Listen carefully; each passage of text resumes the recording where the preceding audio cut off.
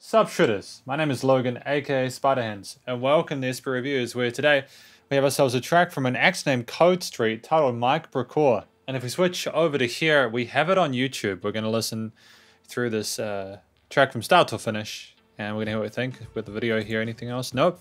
Nice and simple. Yeah, we're going to listen through some start to finish, hear what we think. Let's go, Mike Brokaw. Okay, we've got some percussion coming in here. I like the sound of that bass. It's in your face, isn't it? It just thuds there. I don't see no contenders. Lyrical ninja, probably leave disfigured. Let's clarify some shit just so you know my intentions. Make you feel my shit like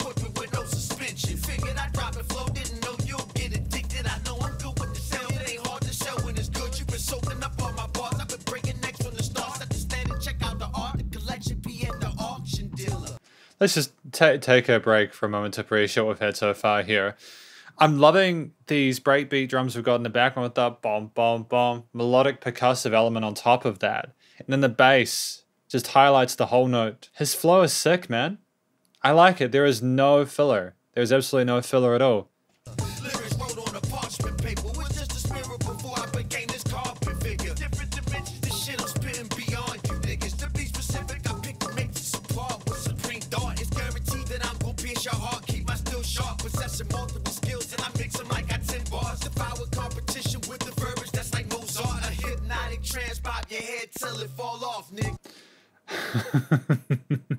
I like the swagger, the confidence we've got there. The guy does spit like he's got, like he can back it up. You know, talking about giving people's heads to to nod until they fall off. I like that. I like I like the imagery there. I, I like the um, I like the office decor, the, the element there. It's just someone getting down to business. He talks of a like a sense of authority um, within it. You know, you can tell that um, Kode Street is someone who's familiar, you know, familiar with a microphone. He's familiar with the genre of music. He so he's invested a lot of time in becoming good enough to be able to approach performing it effectively, and it's paying off, I think. Yeah, I be on my hustle all the goddamn time. Out here making money all the goddamn time. Blowing out your speakers with the goddamn rhyme. Don't Blowing out your speakers with your goddamn rhyme and doing it all goddamn time. And I like how the bram bram bram there. I, I like how he does it in time with that. This kind of feels like it could be a chorus, but I'm not sure. Is this the hook? We've got that similar musical theme that we had at the beginning once the, the, the vocals came in. Is there going to be change here aside from a slight filtering of the drums at the last bar of the four occasionally? ask me about no reasons, it's just like that. Uh, I be on my hustle all the goddamn time. You know, out here making money all the goddamn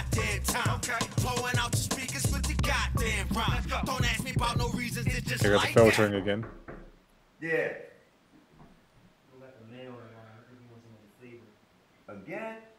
Yeah. How that nigga let me think about it? Shit run a cool in that goddamn city, man. Professional with the wordplay.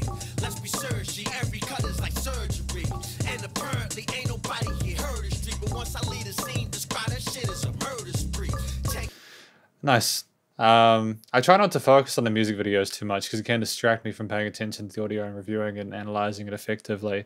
Um, I like how we talk about how we're all business, and then when we come out of that, we're a completely different person. It shows the depth to the character.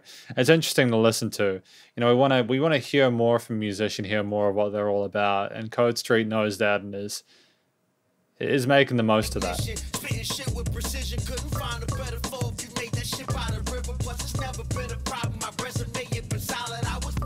the fire, came out even hotter.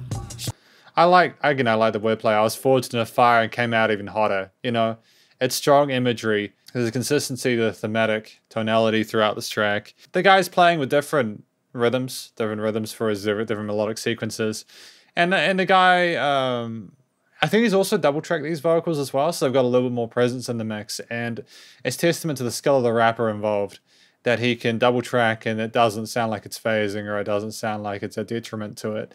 Um, it sounds nice and present in the mix, and it's nice to listen to.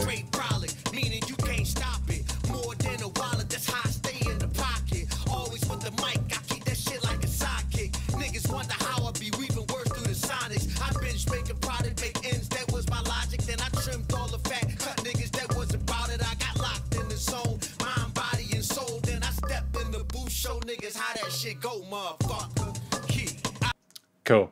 I get it. So we're talking about letting go of people that aren't really helpful to the situation. Locked himself in the booth and then got to work, got down to practice, you know.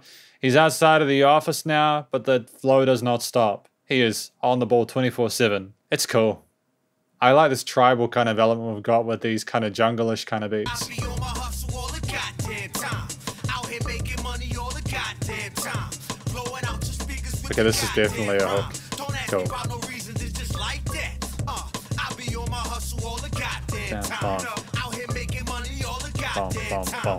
Blowing out your speakers with the goddamn rhyme. Don't ask me about no reasons, it's just like that. Sick. Written and directed by Kode Street, aka Squintin Tarantino. I like it. Edited by 1200 aka. Alright.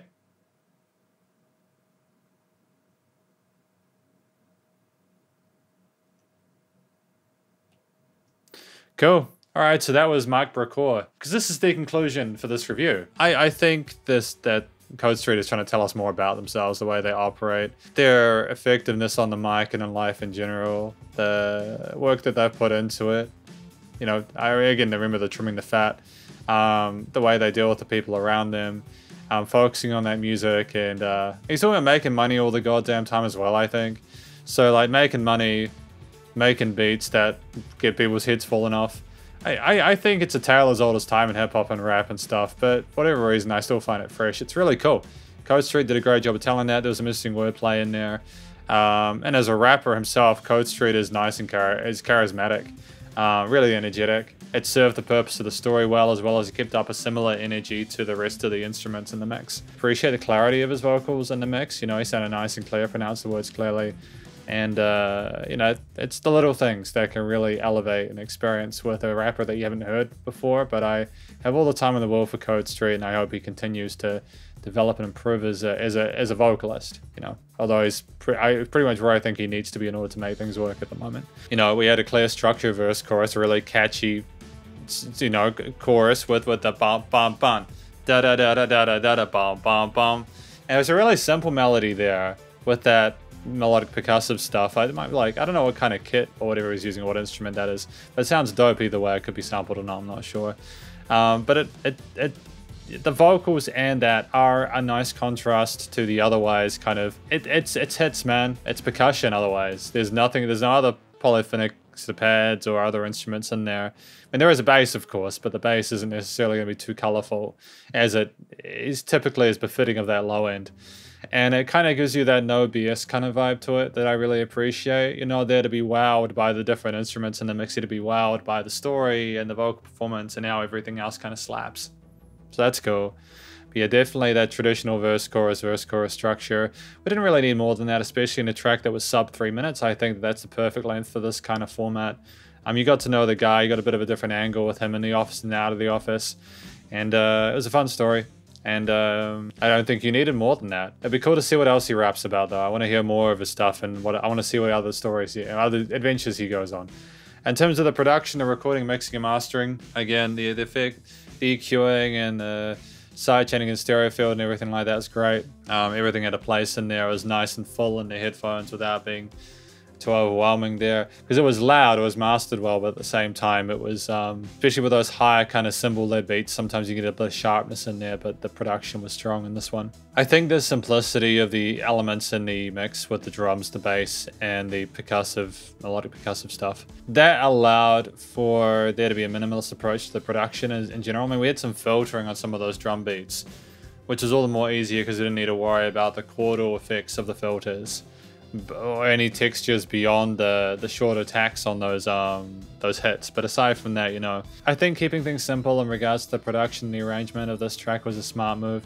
Allowed Kode Street to stand out excellently in the mix. The again, the quality of the vocal recording was great. I've got no issues whatsoever with that side of things either. Um, again, it was nice and loud without pumping. The limiting compression was done really well. And the effects change. I, I didn't really hear a lot of different effects change. The vocal, I mean, there was double tracking on the vocals and had been obviously being EQ'd.